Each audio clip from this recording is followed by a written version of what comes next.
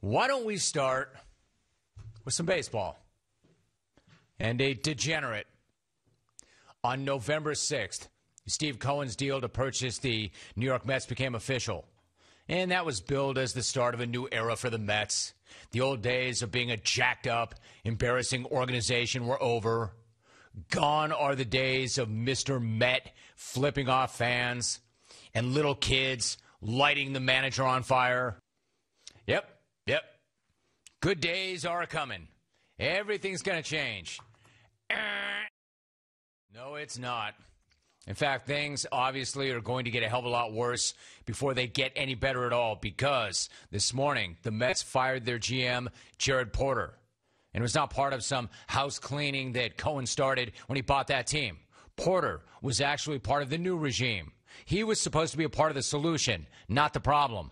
And no, he was not fired because he had not been active enough in free agency or the trade market. In fact, he was killing it there. No, he got broken off because he was too active on his cell phone. And not too active in a clickbait sort of way or addicted to Instagram sort of way. But believe this dude could not put that phone down. This creep just would not stop. And let me get this out of the way right now Mets are going to Met. And apparently that is the law of the land. It doesn't matter who owns that team or who they hire. This organization is bound and determined to find itself in the middle of one revolting incident after another. Hell, Steve Phillips can't believe a Mets GM would act this badly.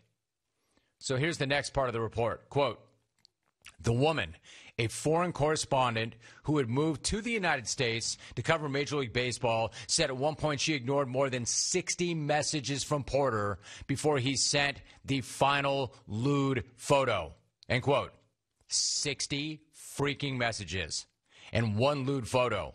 Anyway, according to ESPN, Porter, who was working for the Cubs at that time, met the correspondent in an elevator at Yankee Stadium in June of 2016.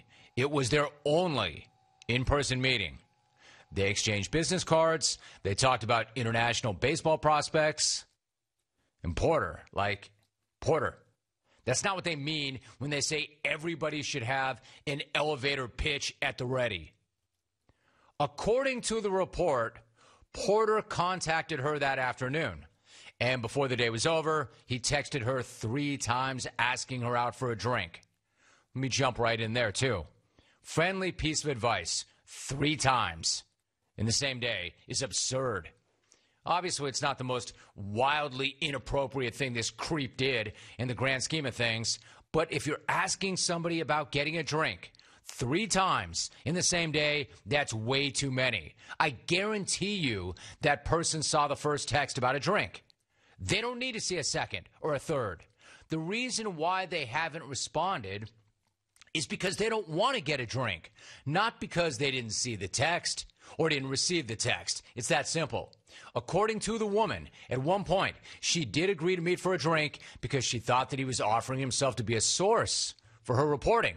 She couldn't meet that night, but that did not stop Porter, who sent her an unsolicited selfie with the message, like? Let me answer that question for you, J Man. No. Unlike. In fact, hate.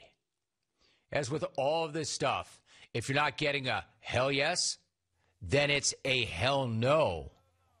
But Porter, being the creep that he is, just kept right on. A few weeks later, he texted her to say, quote, why aren't we hanging out? According to ESPN, quote, Porter asked whether the woman remembered what he looked like and said, quote, you're so pretty. Do you have a boyfriend yet? He sent a selfie and said, it can be me.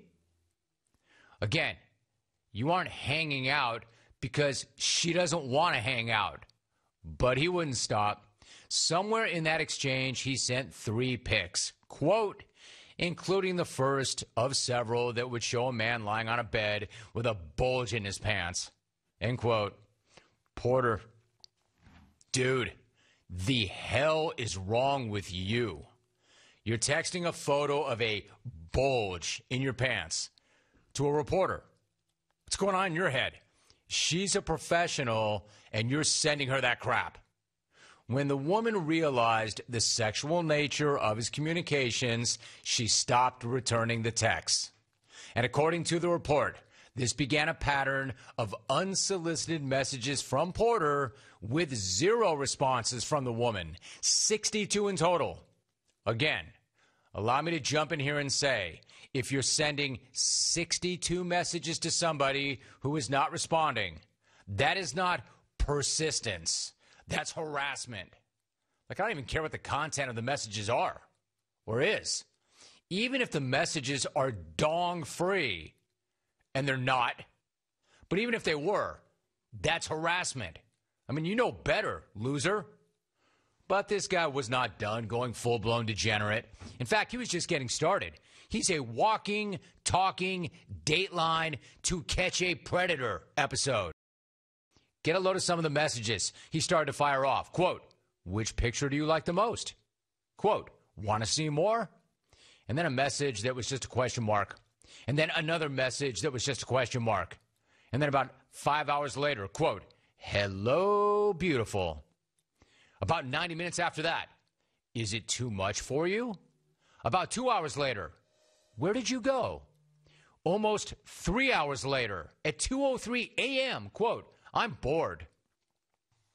Look, I know there are women listening right now who have received this kind of unwanted harassment. And I'm going to guess there are guys listening right now who have sent this kind of stuff. And the worst part is, the dudes who do this sort of thing are okay doing this sort of thing. And I'm telling you right now, do not think that I'm violating some bro code. Because if you're doing that crap, you're violating a moral code. Stop doing it. Again, don't confuse persistence with harassment.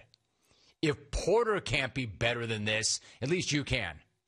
So here's one summary of some of the messages. Quote, the day after the woman stopped returning his text, Porter wrote, Mad at me?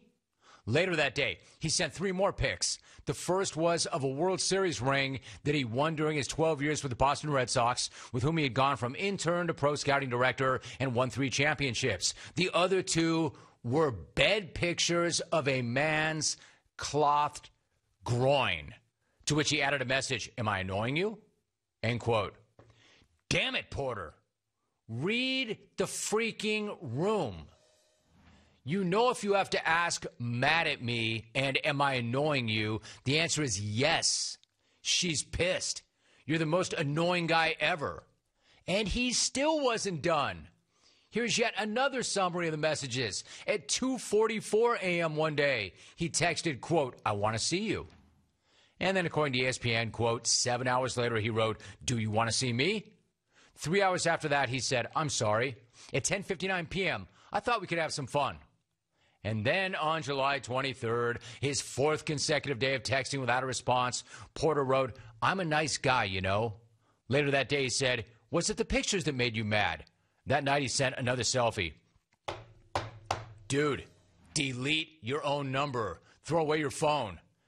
Just reading this crap is infuriating. I can only imagine what it must have been like to actually receive it. And if you feel like you need to send a message which says, I'm a nice guy, you know, you know you're a jerk. And he still wasn't done. Because in August he texted, I'll be in LA this weekend at the best hotel in America. Can you meet me there? Yo, Jackwagon, what are you doing? She hasn't responded to you in weeks and you're inviting her to a hotel. Look, man, I don't care if you're at the Four Seasons or a Days Inn. She doesn't want to see you, ever. But he still wouldn't stop. The following day, he texted her to say, quote, you're missing out. Doubt that, Porter. Yeah, I hope that was worth it, loser, because I know it wasn't. And I know you lost your job because of it. And the fact that I had to talk about your junk or your fake junk makes me want to quit my job, which so happens to be my dream job. You know, sort of like the dream job that you just had, spent your whole life working for, and just threw away. I don't know. I don't know. Maybe Porter got his baseball GM mind frame mixed up somehow with his social cues. You know what I'm saying? You know, that whole make the deal at all costs? That whole, it's not how many no's, it's how many yeses, and all you need is that one big yes scenario? Yeah, well, that might apply to improving your ball club, but socially, it makes you a degenerate creep. She's not an assistant GM or an advanced scout. You aren't trying to Jedi mind trick the Brewers into giving you Yelich for a bunch of AAA lifers. You're not building out your farm system. Man, you're ruining and tormenting a poor journalist's life, jackass.